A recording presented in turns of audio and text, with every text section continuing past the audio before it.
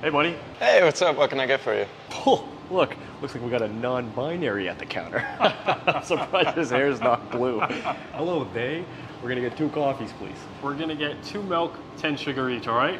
Uh, we only have oat milk. Is that okay? Oat milk? What the fuck is that? I think we stumbled into one of those LG TV cafes. yeah, this is a gay coffee shop. we'll probably find your son in here.